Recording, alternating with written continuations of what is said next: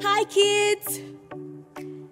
Have you ever had a question that made you go, hmm? Ever wonder certain things but never got an answer? Or at least an answer that you understand?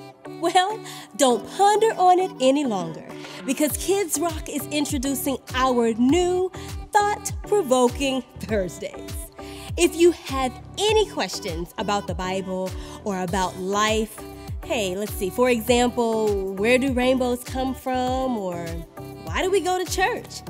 Please ask your parents if you can submit them to us at kingdomkids at ourrelentlesschurch.com.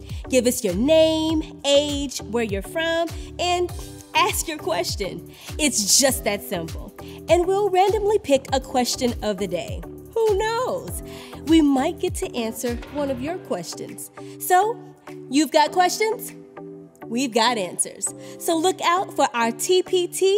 Until our next thought provoking Thursday, remember to love God, love people, and love yourself.